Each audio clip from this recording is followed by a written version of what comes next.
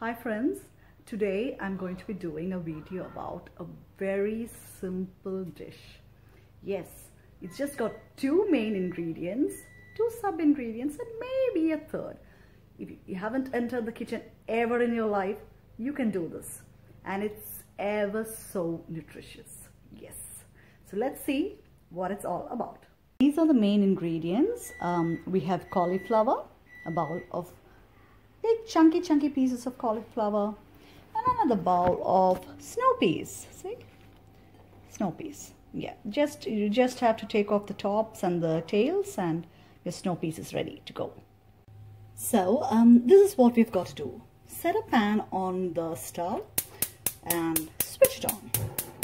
So now all you've got to do is see the cauliflower just toss those into the pan and add the snow peas along with them okay?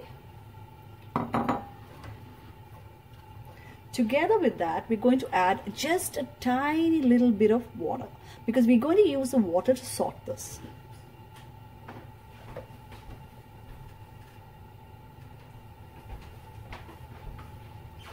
So I'm just pouring a tiny bit of water there okay it's absolutely zero oil.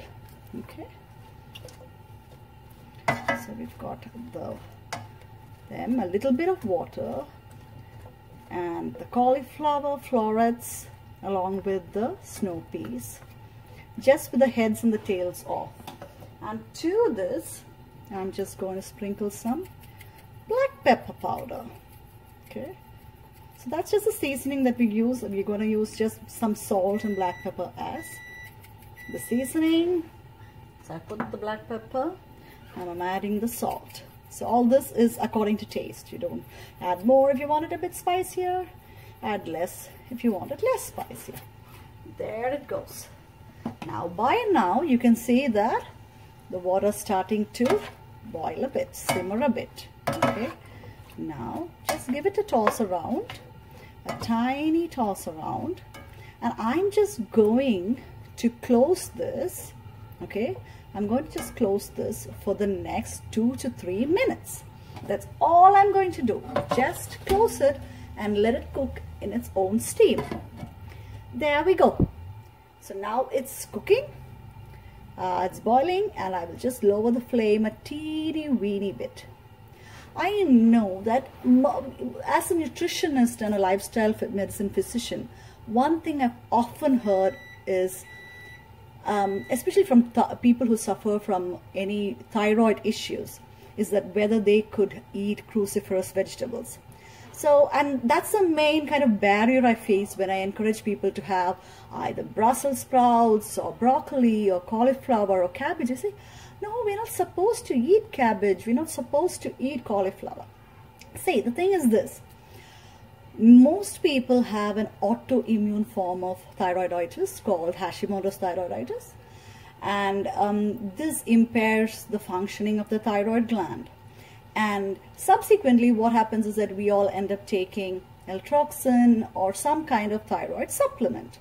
Now, if you're a person taking a thyroid supplement because of a malfunctioning thyroid gland, you can eat cruciferous vegetables because those vegetables have a lot of good nutrients in them. They have a lot of sulforaphane. They're cancer protective. They have so, so much goodness. In fact, I have to do an entire video just on the benefits on cruciferous vegetables. And because you're taking your supplements, it's not going to matter that you're taking cruciferous vegetables. So by not taking all these wonderful nutrient dense vegetables, you're actually selling yourself short so if you have a thyroid problem, my uh, opinion, I do have, I too have a weak thyroid. I have uh, Hashimoto's thyroiditis. So uh, my favorite vegetable is cruciferous vegetables. And I actually love cauliflower, I love cabbage, I even eat raw cabbage. But they say that it's better to cook them. So lightly cooked, lightly steamed veg veggies and especially cruciferous and this they are wonderful for you and you're missing out on a lot of nutrients if you're not having them because you have a thyroid problem. Now they're almost done. As I said, it just takes barely a minute or so. Now, I think it just took two minutes. Well, all that I'm going to do here is just to give it a little bit of a flavor. What I'm going to do is add a tiny bit of soy sauce.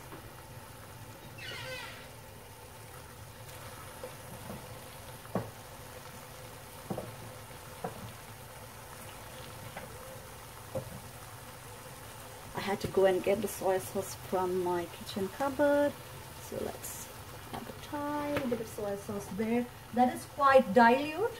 So uh, that's why I poured that much. So you have thick and thin soy sauce, you know, the, the one that is dilute and the one that is quite thick. So this is a dilute variety of the soy sauce. So just a tiny bit of soy sauce. If you get the organic variety, that's far better.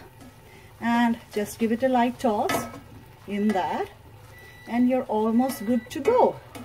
Because you really don't want to cook these vegetables too much. It is a great breakfast great um, lunch a quick and easy lunch to take because it, the flavor of the vegetables is so good that you wouldn't need anything else to go with it. So I'm just going to dish that out onto uh, the bowl. Okay. It's almost done here in two minutes. And here we go So here is a quick, easy, steaming hot, yummy, scrumptious cauli and snow peas. You will love this and don't be scared if it's crunchy and you feel it's not as cooked as you'd like because the more crunchy it is, the more nutrients that it has within it. So see you and have a great day and a great week until next time. Thank you for watching. And don't forget to subscribe.